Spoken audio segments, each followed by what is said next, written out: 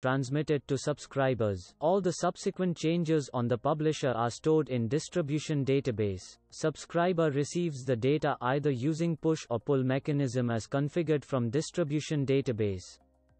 Question 3. What are different replication agents? Answer. Snapshot agent log reader agent distribution agent merge agent queues reader agent Question 4. Does a specific recovery model need to be used for a replicated database? Answer. Replication is not dependent on any particular recovery model. A database can participate in replication whether it is in simple, bulk logged, or full. However, how data is tracked for replication depends on the type of replication used.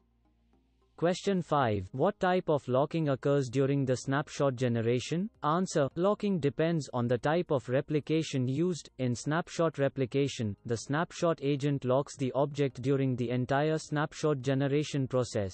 In transactional replication, locks are acquired initially for a very brief time and then released. Normal operations on a database can continue after that. In merge replication, no locks are acquired during the snapshot generation process. Question 6. What options are there to delete rows on the publisher and not on the subscriber? Answer. One option is to replicate stored procedure execution instead of the actual delete command. You can create two different versions of the stored procedures one on the publisher that does the delete and the other on the subscriber that does not do the delete. Another option is to not replicate delete commands.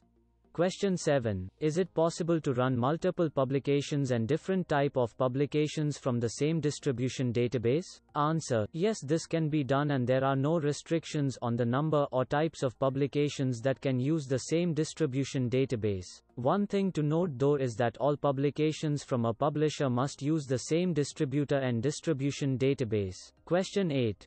Data is not being delivered to subscribers. What can be the possible reasons? Answer. There are a number of possible causes for data not being delivered to subscribers. The table is filtered, and there are no changes to deliver to a given subscriber. One or more agents are not running or are failing with an error. Data is deleted by a trigger, or a trigger includes a rollback statement. A transactional subscription was initialized without a snapshot, and changes have occurred on the publisher since the publication was created created. Replication of stored procedure execution for a transactional publication produces different results at the subscriber. The insert stored procedure used by a transactional article includes a condition that is not met. Data is deleted by a user, a replication script, or another application.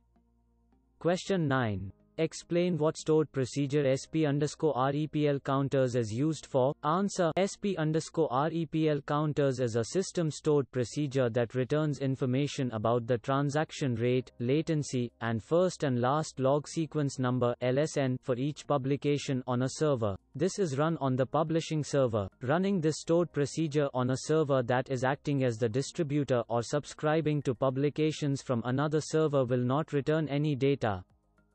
Question 10. How will you monitor replication latency in transaction replication? Answer. Tracer tokens were introduced with SQL Server 2005 transactional replication as a way to monitor the latency of delivering transactions from the publisher to the distributor and from the distributor to the subscribers. For details, please refer tip to this tip, monitor SQL Server replication latency using tracer tokens.